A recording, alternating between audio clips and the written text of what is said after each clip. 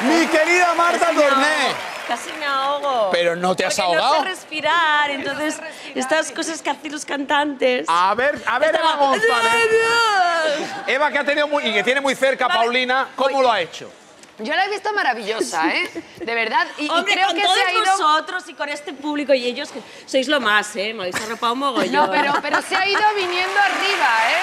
Sí, sí, sí. Uy, ella. ¿Verdad?